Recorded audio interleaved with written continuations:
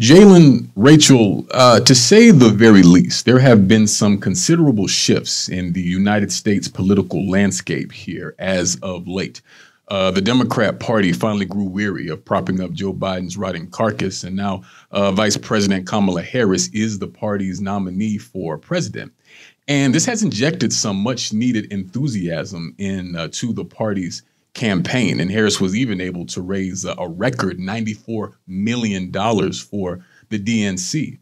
And what's been obvious from the very beginning is uh, Harris angling and messaging towards young black voters specifically. Uh, she seems to have taken on this uh, cultural affect that doesn't always seem completely genuine. Uh, you know, she brought up Megan Thee Stallion and uh, Quavo from the Migos to perform at her rallies and things like this. But what we don't see and what we haven't heard is an explicit uh, discussion or platform points that concerns the material issues that face uh, young black voters. I mean, at this point, the campaign seems mostly based on vibes and literally not being named Donald J. Trump. That's right. about all they're offering at right. this point. I mean, yeah, they're they've been discussing platform points, but uh, more or less that that's all we have. And even recently on CNN, they had a roundtable with some uh, young black voters that were, you know, talking about how they were considering uh, voting for alternative parties because the Democrats are just not really speaking to their interests. And so, uh, Jaylen, I want to start with you just to ask what do you think is at the root of this disaffection that young black voters are feeling more and more with uh, the Democrat Party? And where's that disconnect happening? And what do you think are sort of the real concerns that young black voters are having these days? Yeah, yeah. I, I think you you really you really point directly at the core of it, right? This disillusionment that is easily readable from the Kamala Harris campaign, from the Democratic Party, their dissonance um, about, of course, the ongoing genocide in Palestine, and about at-home issues with what it means to survive. Right. Um, um, as as young people looking to um, come out of school, even and get jobs or find work, it is extremely difficult right now. And I think that when you have figureheads of the Democratic Party uh, doing this sort of posturing, like you said, this angling and this um, this sort of propping up of things that they believe young people like, such as hip hop music or culture or um, I don't know memes or jokes. Mm-hmm. It it infantilizes who we are. It infantilizes our politics.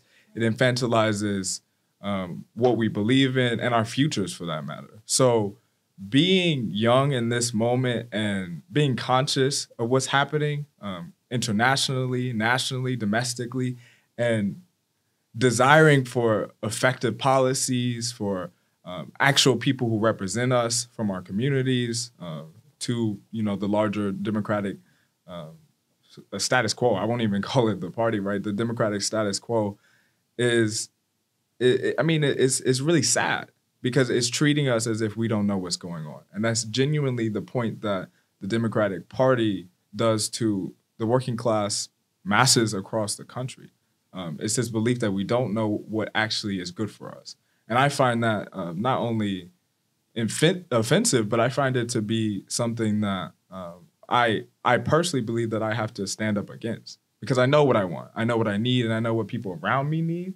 And I think that uh, from what we're struggling with from the rise of food to the cost of housing, just basic human rights and needs just aren't being met.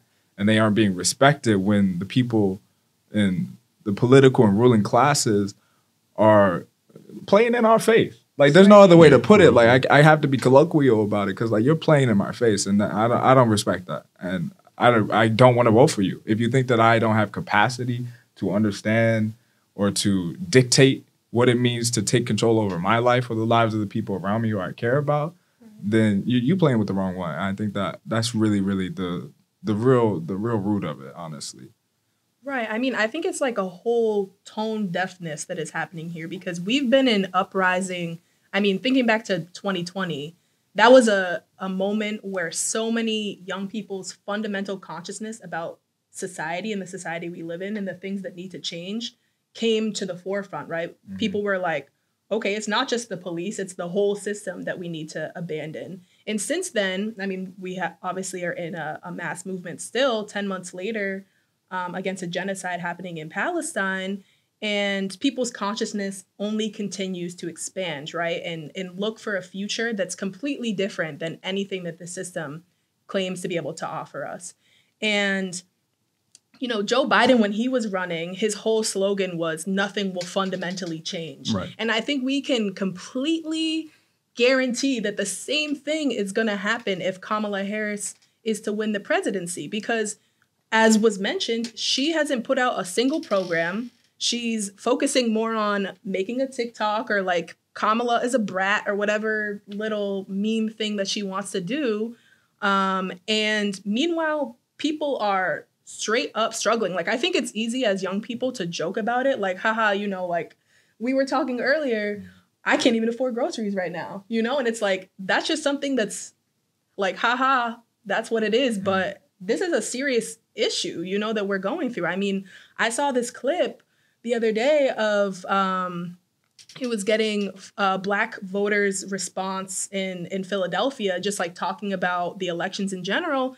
And this woman was up there crying, talking about it's either feed my kids and I don't eat because inflation has made the cost of things so high. I mean, like we're fighting against a genocide in Palestine and the genocide that happens in our communities every day, right? Mm. Because the U.S. continues to fund funnel billions of dollars into the war machine. Meanwhile, I'm getting emails talking about your student loan payments are overdue.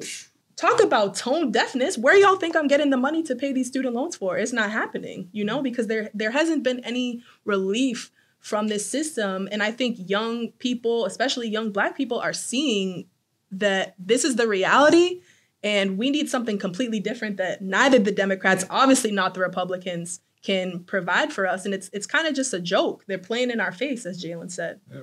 Yeah, you know, uh, I saw that NBC piece too, and that same woman. She said that you know she she blames the federal government for these conditions, and she said they're killing us. Mm-hmm. Those are the words that she used. And also, when, when you talked about uh, young people not being able to afford groceries, that reminds me of this study that was done at Purdue University back in 2022 that found that one in three Gen Z adults, people born between 1996 and 2004, one in three of them, uh, in the first part of that year, they were food insecure. They could not afford food. Mm-hmm. And a lot of this had to do with the economic fallout uh, of the onset of the coronavirus, COVID 19, right. which was horribly mismanaged by this country. And some of the people hardest hit by the unemployment issue was uh, Gen Z adults. And uh, while at the same time, Oxfam found that there were 573 new billionaires that came out of uh, the pandemic, or one every 30 hours. Now you take that every with the fact hours. every 30 one every 30 hours. Now you take that with the fact that the uh, federal minimum wage has not risen since 2009. That's 15 years ago. That means that the older Gen Z adults were small children mm-hmm. when uh, the wage was last risen and they're still expected to to live on this. Mm-hmm. But see, these are things that we're not hearing from uh, Kamala Harris or Tim Walz, and certainly we don't expect to hear about it from you know Trump and the Republicans. They don't even pretend to be decent.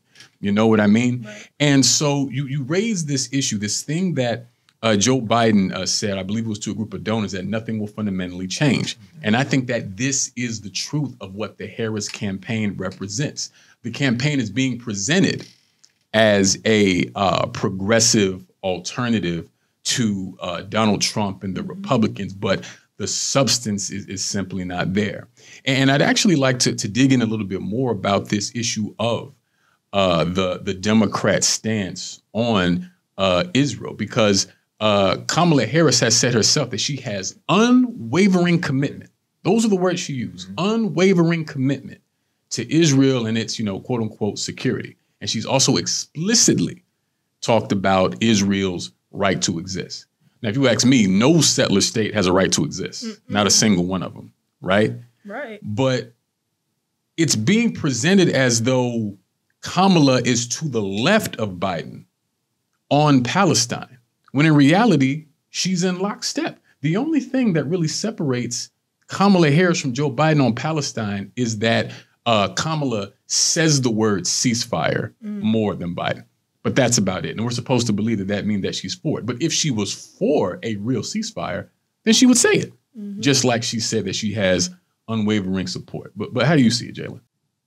Yeah, well, I think that she's presented, of course, on the issue of Palestine as as more left than Joe Biden, but she's presented and I have to add to it, she's presented as more progressive simply because of her identity. Right. That's right. That's right. I think that's the one thing that we have to like really, really hammer in is that the simple fact that Kamala Harris is the first black and first South Asian vice president of the United States in of itself is an emblematic role that she has. And this emblematic role allows for her to appear, um, appear as someone who is softer than Joe Biden. And you're right, like uh, uh, his rotten corpse is his dementia almost, right? Being like pulled around. There's so many memes about him like being swung into um, conferences like a like a scarecrow. And it's like she's, you know, she's younger than Joe Biden and she's black. And so that and a woman. And a woman, exactly. So this idea of her identity being conflated with her politics is something that we have to have um, like incredible analysis about. We have to be really, really sure of that. And I think that um, that lends itself really, really well to then what she says, right? She can manipulate and say things differently because it's a it's a face that um, the ruling class and political party believes can um, deliver things in a better way than Joe Biden can or a, a Donald Trump, right? Because she's more relatable by identity's sake. And I think that this allows for something like the issue in Palestine to be watered down and to be conflated and manipulated to the public. Um, my name is Kamala Harris, and I and I actually do want a ceasefire, and I think that Israel has the right to defend it itself. It's inherently a contradiction. Right. When we're when we're talking about what the settler state um, of Israel and the Zionist entity and the Israeli apartheid regime does in occupy Palestine and has been doing for the last ten months, it is abominable. It is disgusting. There, there is no other words that we can say to capture these people's attention when they're like feeding us fodder. Like there's, mm-hmm. you don't want a ceasefire. You want for people to stop interrupting your um, campaign route. You want mm-hmm. people not right. to be protesting outside of the DNC. You want people to go home and to pretend like nothing is going on. And that is the status quo and the American heritage, right? They want us to inherit this idea um, that they've manipulated in history and manufactured out of history that everything is all right. America is the safe haven of democracy, um, and that Donald Trump or the Republicans are trying to uh, take the safe haven, take the democracy that we have and we hold so dear to our hearts, and take it so far into the method of fascism and to be authoritarian. And I think that uh, we're already there. It's, it's happening under the rule of the Democratic Party, and it has happened. We continue to see this facilitation by like our political party, uh, the Democrat, not our political party, um, but the Democratic political party let is letting it happen. Is facilitating it, and I think that um, we also have to say it is facilitating through the, just just this week, twenty billion dollars to Israel is facilitating this this genocide. We've heard Benjamin Netanyahu, we've heard Gallant, we've heard the heads of state in Israel say that they could not deal out the horrible damage that has happened to the Gaza Strip without the aid from the United States. I don't know how many times they have to say it. Right. It's clear. Like I think that they know that this is happening and they're trying the best to micromanage possibly those people in our country who maybe believe it's none of their business, that, that don't understand that uh, the politics of the situation is situated in U.S. imperialism. Um, and so I really think that that's where we stand to like to like agitate. Uh, yeah. Is to let people know that this is our problem. This is what we have to stand up for because it is our government facilitating it for the sake of imperialism and for the sake of profit. Yeah. Like that's the that's the part that's really crazy. I just want to say I do not and cannot relate to someone who is wearing hundred thousand dollar suits and half million dollar necklaces Right. or whatever. That is never someone who I or the vast majority of people are going to be able to relate to. It doesn't right? look good either. It doesn't look good. All right, thank you. Yeah. I think I think as black people as well, it's really important to not distance ourselves from the issue of what's happening abroad, whether it's in Palestine or somewhere else because going back to what I said earlier, it's like all the things that we don't have are because money is being spelt spent elsewhere, Exactly. right? Like the money that we don't have uh, for social security or for healthcare or for education or whatever it might be to actually invest in our communities and ensure that our schools and our public transportation and our housing are all good doesn't exist because it's going to the US war machine to reap Mhm. the profits that the that the people in power in the United States can gather all around the world. I think people have people have kind of been against the whole train of not voting for Kamala because they're saying that we're single issue voters or something like Right. that because we're only looking at this one thing, the genocide in Palestine.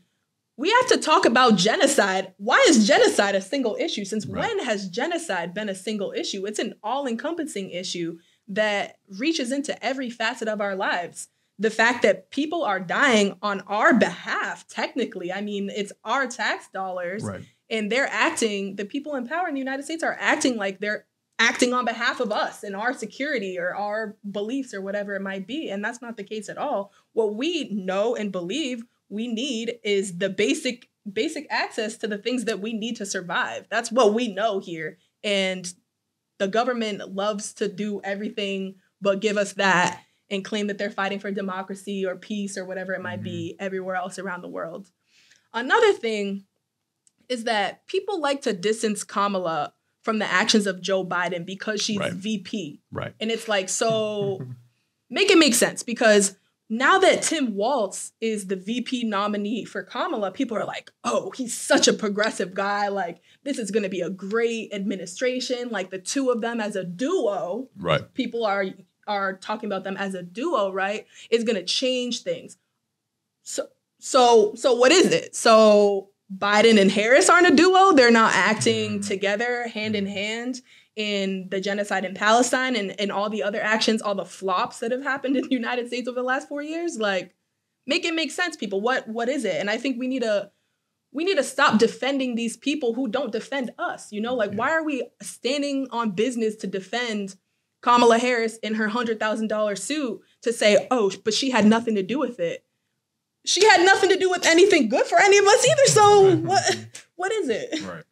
Yeah, it's this strange thing of treating Kamala just like a babe in the woods and like she's somehow uh, completely separate or in her own orbit and uh, has no power to achieve anything. But she's been very clear that she's going to be on precisely the same track as Biden on Israel and other issues. And see, the propaganda is so aggressive and so incessant that people do not know the material connection about uh, the plight of Black America and Palestine. Rachel mentioned the $3.8 billion a year in our tax dollars that go to carry out genocide against the people that did nothing to us. Right. And they don't ask us for it, they just take it. Mm. So that's money that we don't get that's going to someone else's destruction. Not to mention the fact that we know American police train with Israeli troops. Right. So the brutal and deadly tactics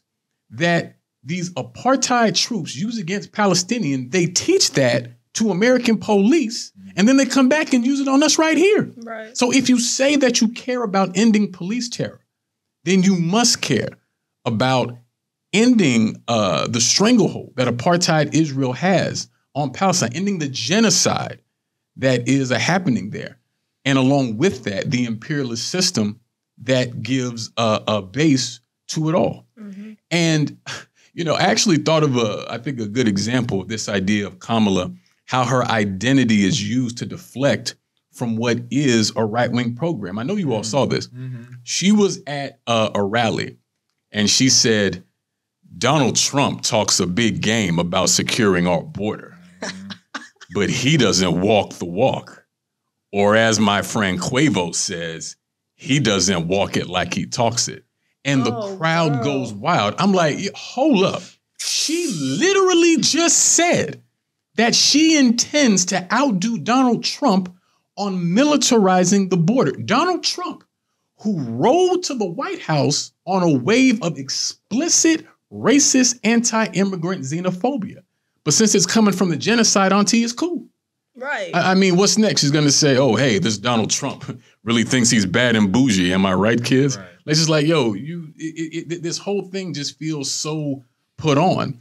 And what we have to realize is there's nothing magical, no pun intended. There's nothing magical about Kamala's blackness or her womanhood that is going to make her class interests the same as the class interests of uh, poor and working people in this country, black people in general, or around the world. And history shows this conclusively. We can go down the list. Barack Obama, black man, uh, uh, invaded Libya. Libya was the most uh, prosperous country on the African continent.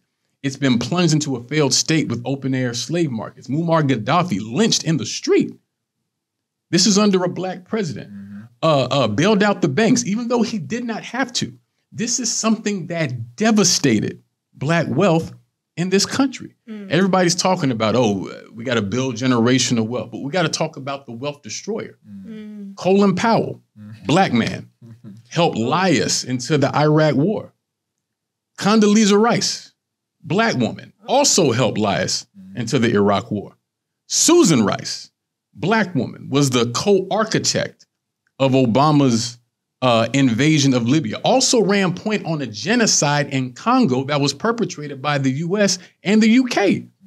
Linda Thomas Greenfield, black Oh. woman, U.S. ambassador to the UN, the voice of U.S. imperialism on the world stage.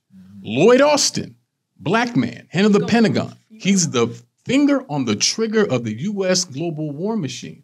So if you are in service to empire, it does not matter your race, your gender, your sexual orientation, or anything else. If you're in service to empire, you are in service to white supremacy.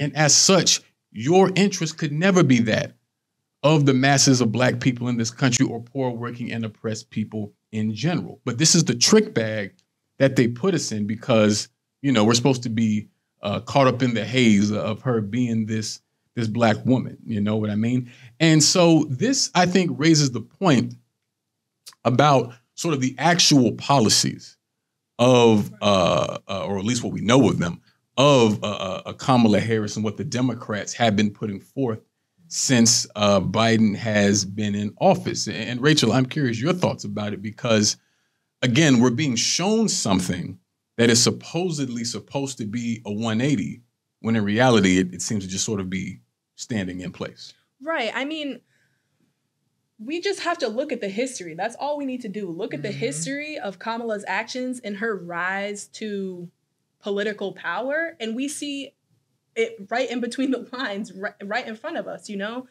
History of criminalization of Black people, especially for using marijuana.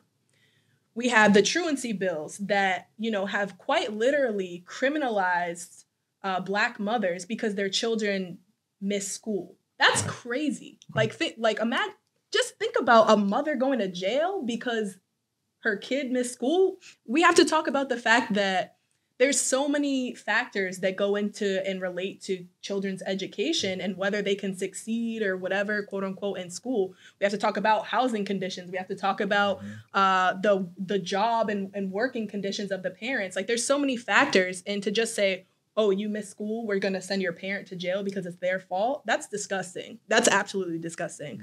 Um, we have to talk about the fact that Kamala is no friend to women either because as much as they want to put it on Donald Trump that abortion was overturned, Roe was overturned under the Democratic presidency of Joe Biden and Kamala Harris. That's. Like it's as simple as that. That's what happened. Even even if we were to entertain the argument that's like, well, Trump put these right-wing judges in Mhm. this in the Supreme Court, at the end of the day, Joe Biden and Kamala Harris didn't do shit when it was overturned.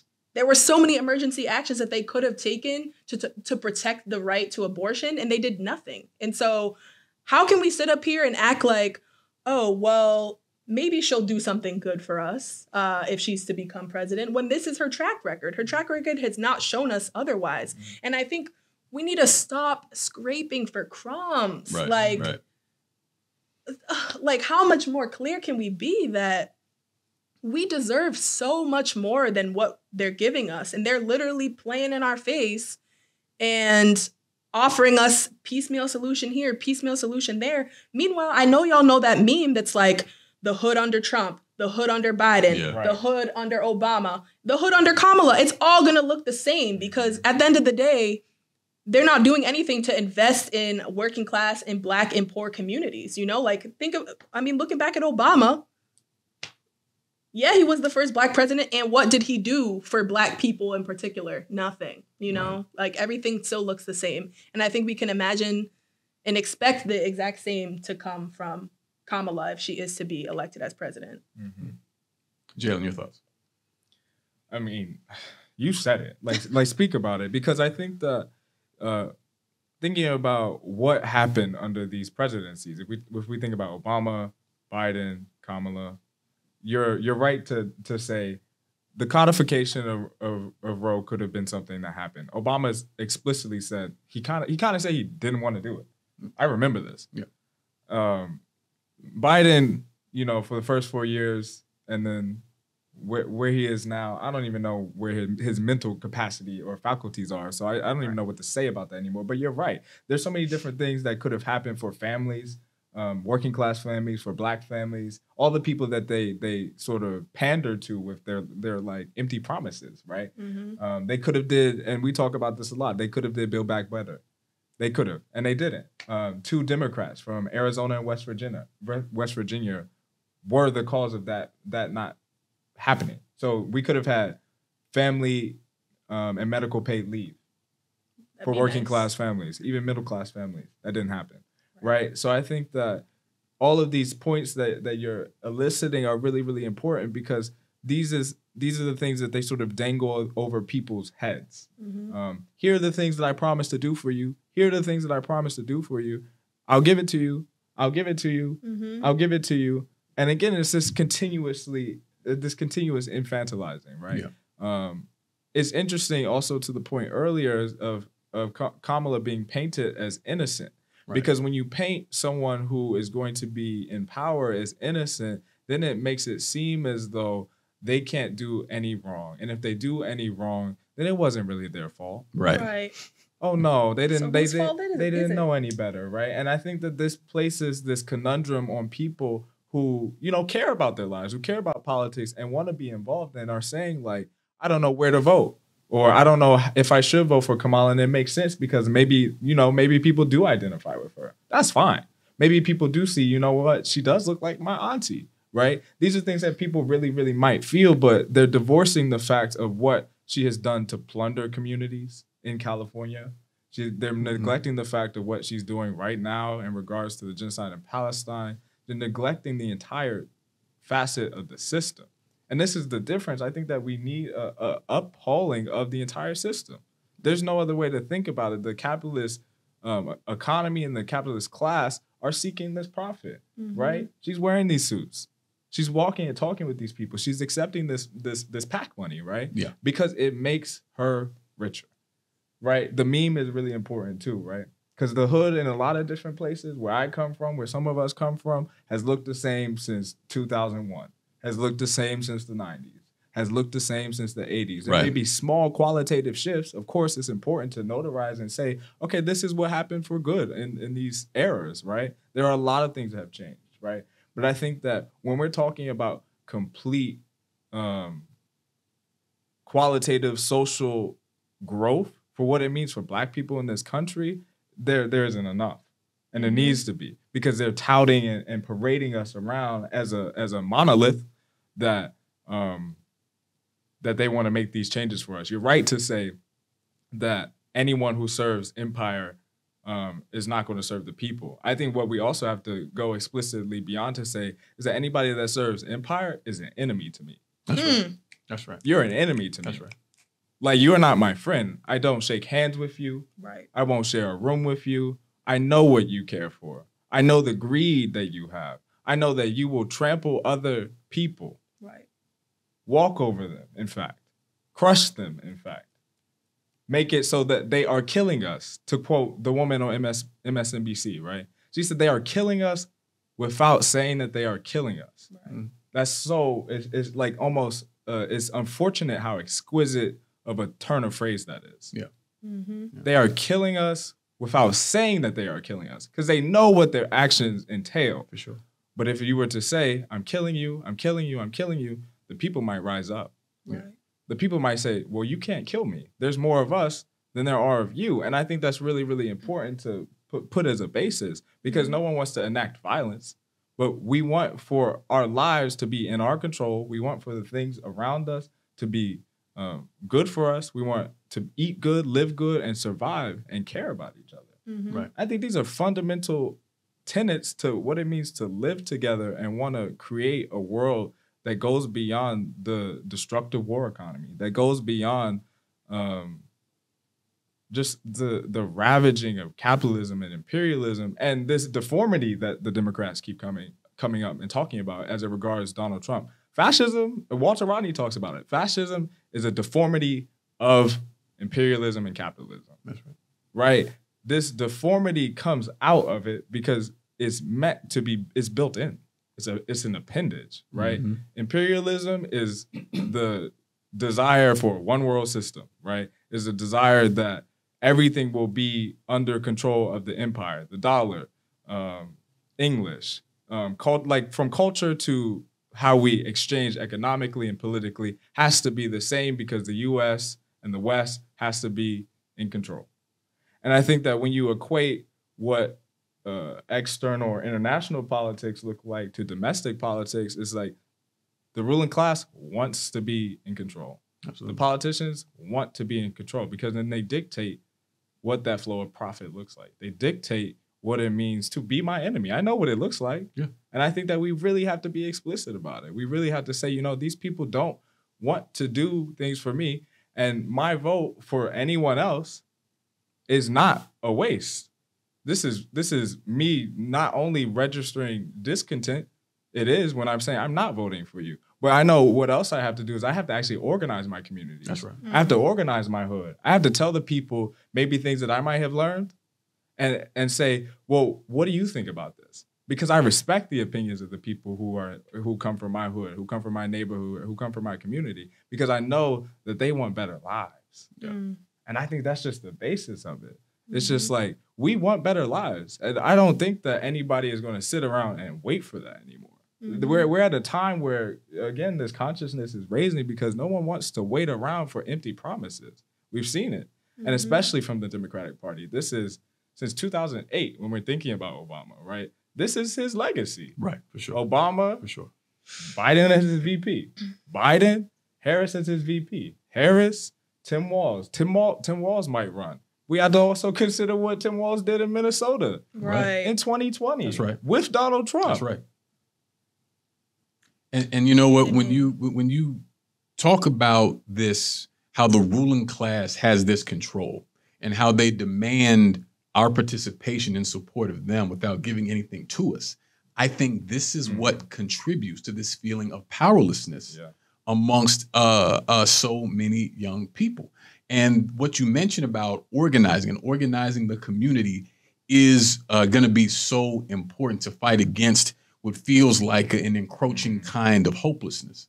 But when we talk about hope, when we talk about this revolutionary optimism, we have to be clear that we're not talking about you know uh, empty platitudes or saccharine sentimentality. We have to say that the hope is is the movement right? Mhm. The movement is the material thing that you can put in their hand and say, this is the substance of things hoped for.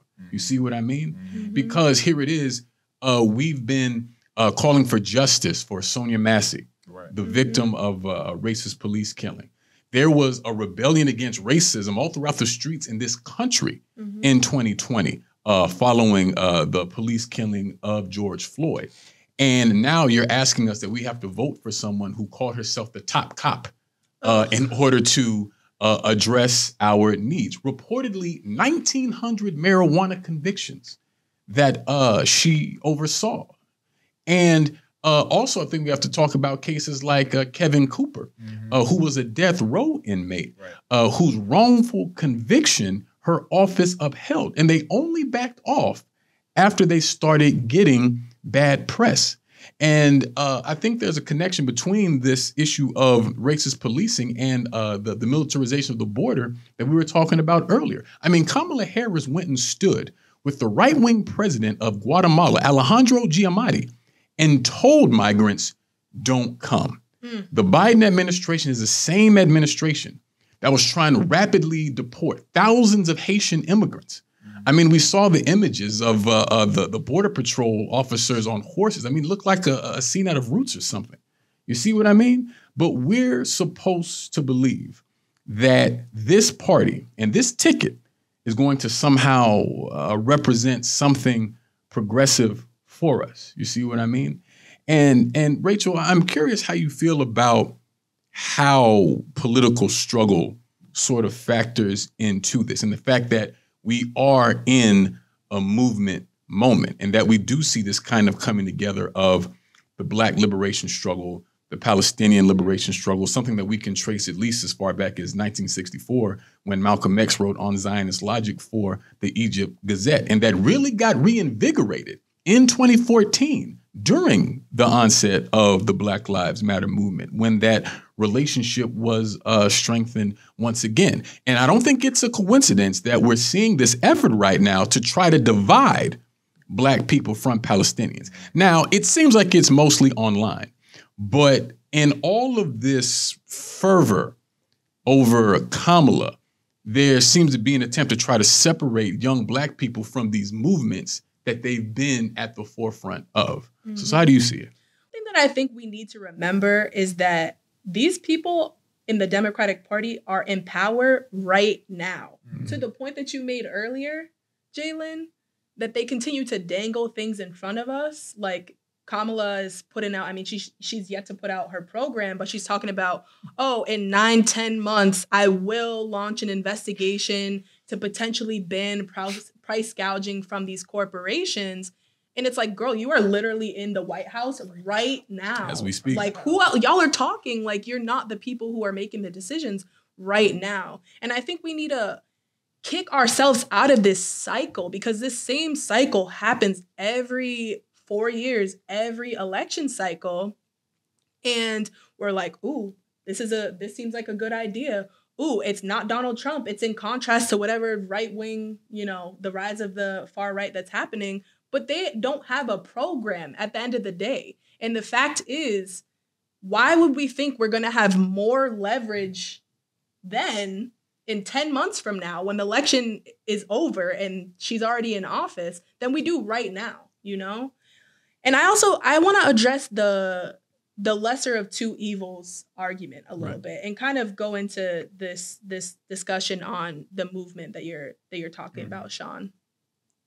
I completely understand. It makes it, it makes sense why people would be fearful of another 4 years of Donald Trump. I mean, he is a disgusting, racist, xenophobic businessman who clearly he's he's wearing like $500,000 suits. Um, but I think we need to we need to stop selling ourselves short, you know? We can't just sit up here and say, well, Kamala might not be perfect, but she's not Trump. And it's like, when are we going to kick ourselves out of this cycle? And at the end of the day, that comes down to organizing, right? Like, right. If you, I mean, just to be blunt, if you weren't out there in, uh, when was Donald, 2016 mm-hmm. through 2020, when Donald Trump was president organizing against that, then honestly, I don't think you have any any weight in the conversation about the lesser of two evils. If you haven't been organizing under Biden, then what how are we going to get ourselves out of this cycle, right? Like we're just going to continue to give and t- take the scraps that are offered to us and choose the so-called one that's so-called better. I don't know how we choose between the better of a top cop and who's also racist and xenophobic, whatever. and Donald Trump, who's also a racist and xenophobic. Like how do we how do we decipher because of their identities?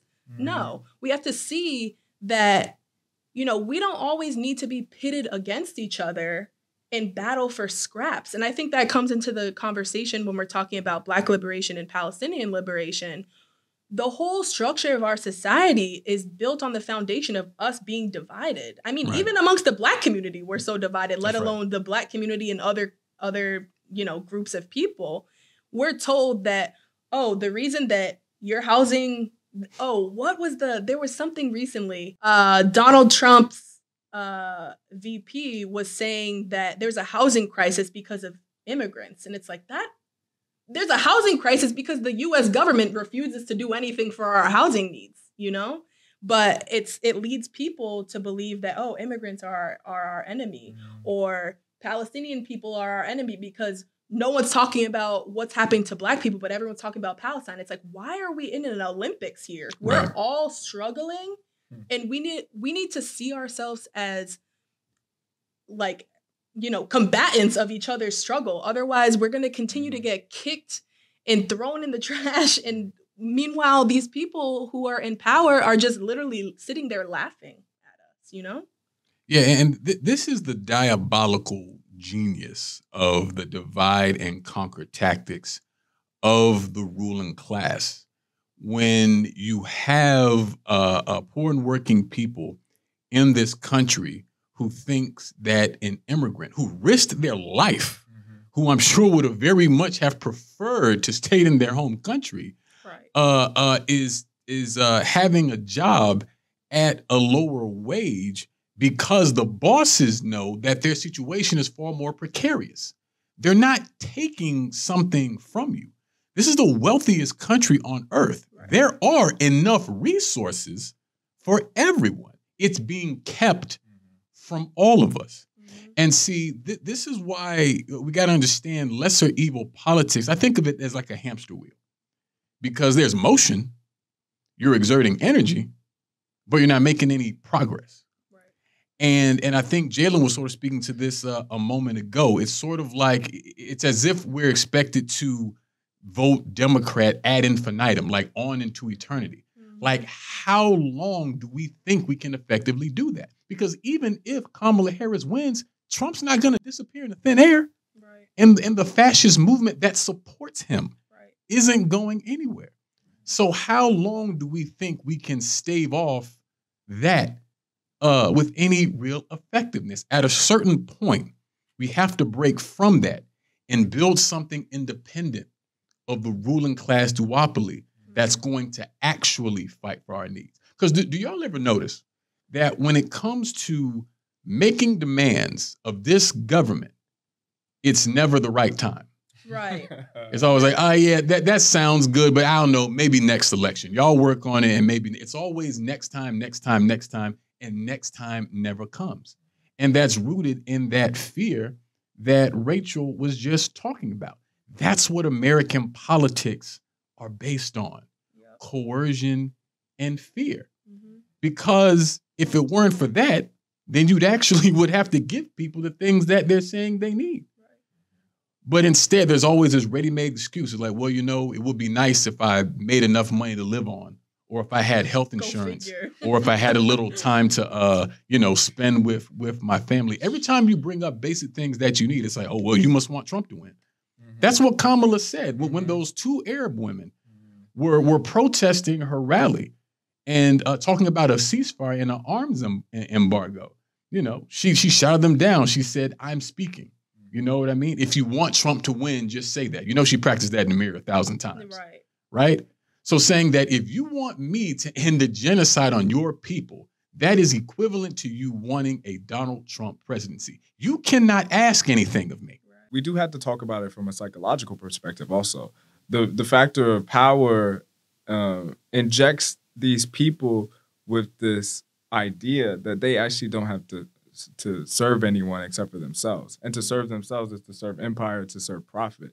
I think the point about um, next time is important too, right? Because that's the cycle, right? Um, the hamster wheel. Next time is a book that is never going to be written.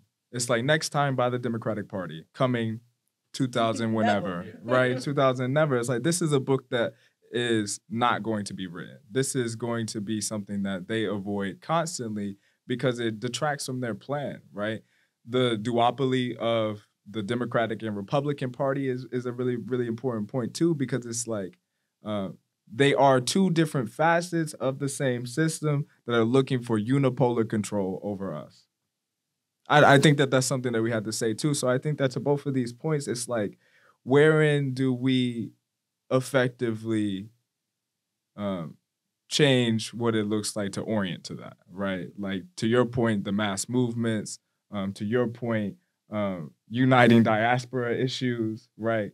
Um, because we have more in common than we do with people who are are greedy, right? Mm-hmm. That's just as simple as that. And I think that when I when I'm hearing this conversation, it's just like there's so many things that are happening on a time scale to respond to them in a half-assed way from the Democratic Party, right? Mm-hmm. Um, to your point of the Democratic influencers on the internet um, dividing through videos of being like all the people, all the organizers, all the all the people who are, are rising up in the streets who are talking about Palestine don't care about Haiti. They don't care about the Congo, right? This is the main the main like pivot and, and precedent for the divide and conquer, right?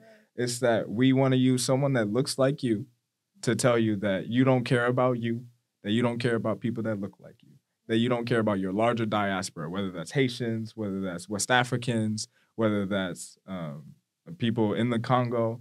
Um, I think that it's a really lame excuse. Like when you actually are involved in our movements, when you actually are organizing, you see the intense internationalism and you see the intense solidarity. There are Palestinian comrades who I organize with, who you organize with every day, who know at the center of their struggle is everyone else's struggle who knows that what is happening with Haiti as a result of US imperialism is something that they have to smash. And it's not vibes. It's not something that we're just saying just because it sounds cool, just because it sounds radical, but it's because we have effectively um, come to a point to analyze like this is what's happening. This is laid out for us. And it, there comes a point when you have to wake up. And I think to your point too, like a lot of people who are complaining about Trump have every right to complain, right? Have every single right to complain. Who are complaining about Kamala, but like I'm still going to vote for her. Have every right to find their logic, but there has to be a point where we also invite them in,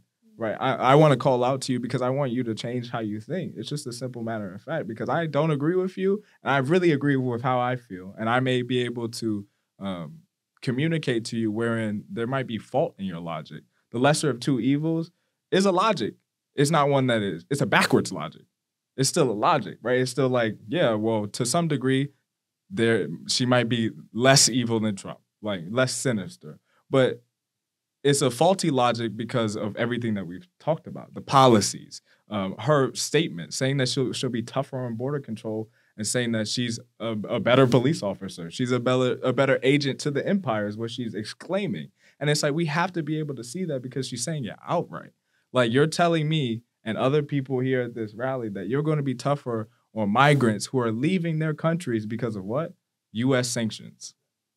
They can't survive in their homelands because the capitalist class, companies, CEOs want to extract resources that make money from these countries to sell it everywhere else, to sell it across NATO, to sell it to other countries at a high price so that they can get richer and keep that money and maybe send some of it to Israel, but keep a lot of that money and hoard it for themselves. Mm-hmm. They want to militar- militarize the border. They want to build a cop city in Atlanta.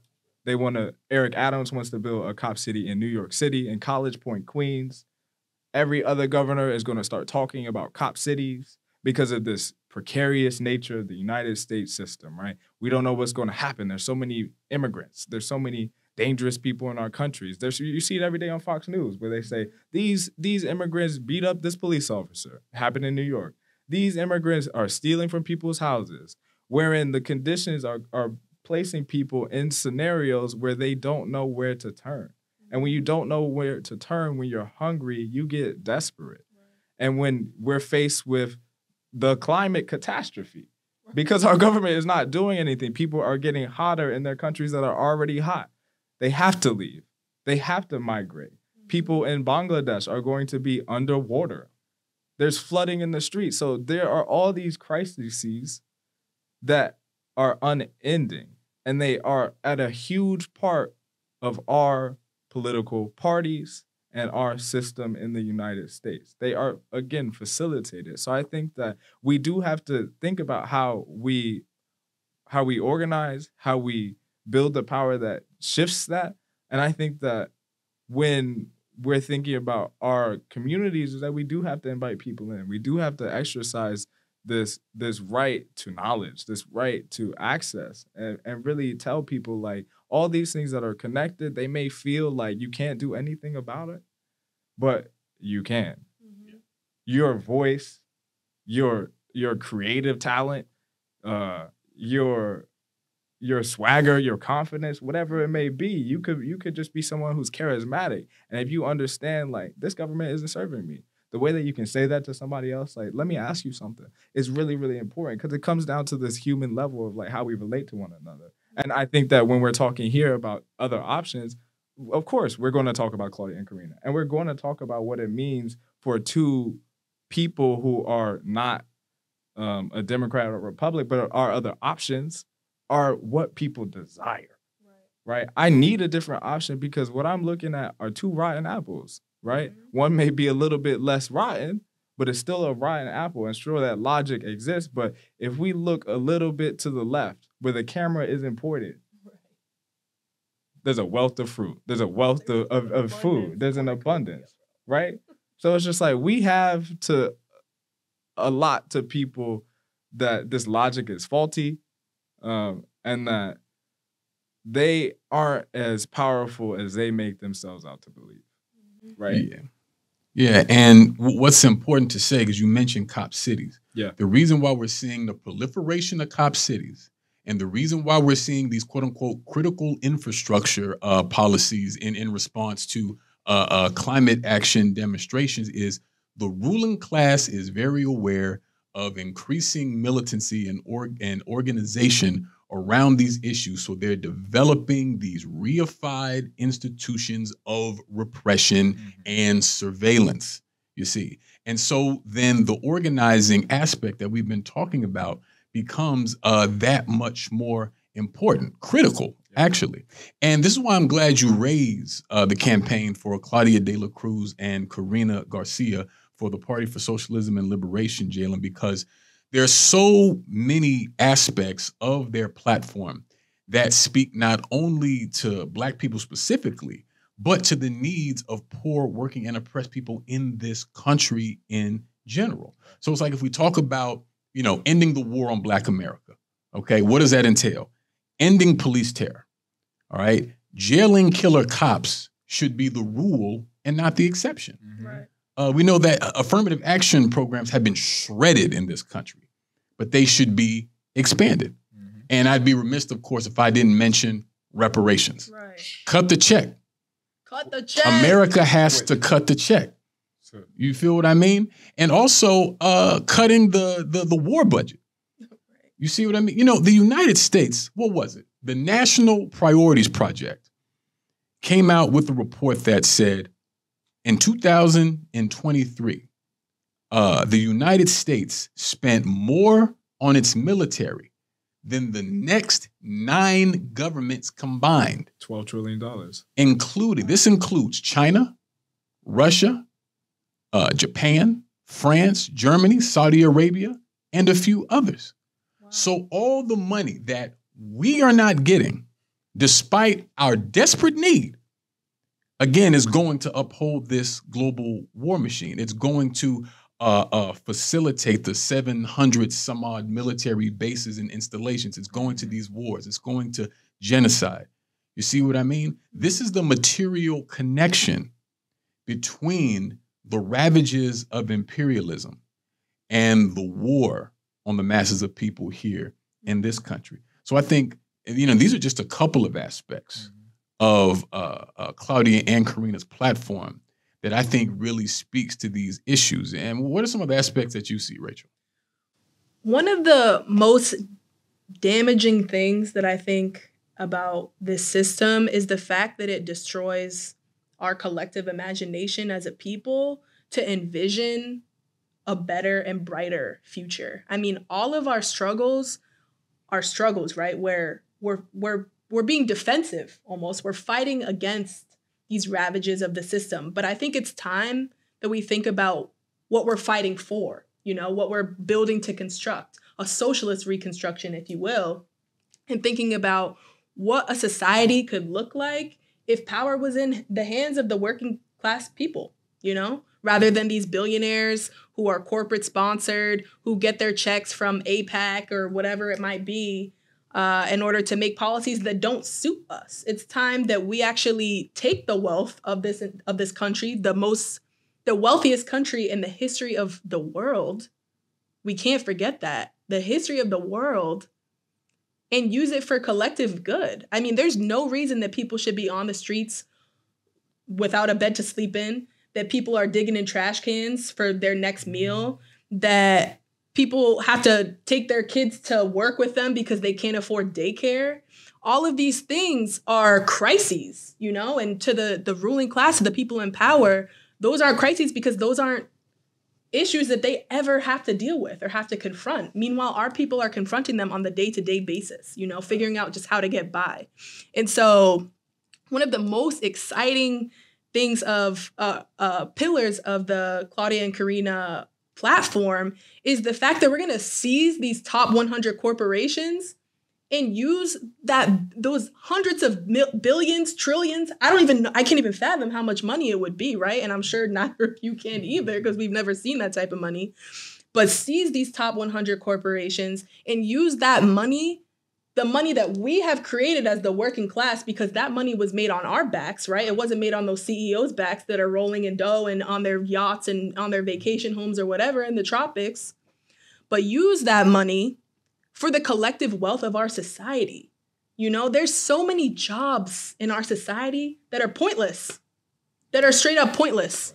No shade. I mean, we're just working to survive, but it's like, why do we have a whole finance industry? Why do we have all these industries where people are literally just click clacking away on their la- on their on their keyboards and we don't actually know the bigger picture of the workplace that we're working for. You know, we're just doing some tiny little thing. We could have jobs that actually contribute to the construction of a new society. We can have we can play a part in the world that we want to build and that we are fighting for to see rather than always being so defensive about you know the struggles that we are facing real time in our communities. I think it's time that we see ourselves as worthy as deserving of that, you know, because we can't continue to say, oh, next time, oh, next time. Now is the time. Now is the time. And see, this is really my favorite part of Claudia and Karina's campaign is that it is not restricted to what happens in November. Right. We are building a movement before and after the election because we are clear that that is what it's going to take for the masses of poor, working, and oppressed people to get the things that we need. Mm-hmm. And to have the understanding that to cast a vote for this or that ruling class figure, whether it's a Democrat or a Republican, whether they're wearing a red tie or a blue tie, them winning the seat does not constitute a victory for us. And I'm reminded of a quote. I think it was from uh, uh, Eugene Debs, who was a socialist that ran for president.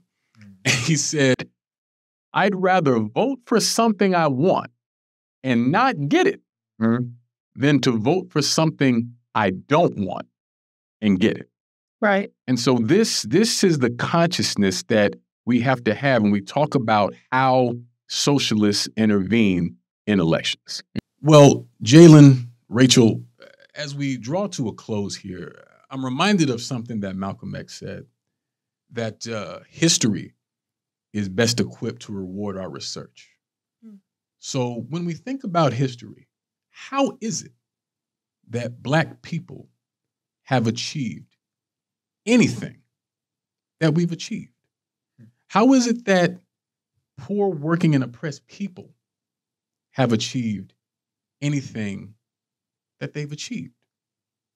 It's through being organized and by building movements. And this is true of all the people that we admire in history. Fannie Lou Hamer in an organization, Assata Shakur in an organization, a revolutionary party, in fact, Claudia Jones, Ella Baker, Paul Robeson.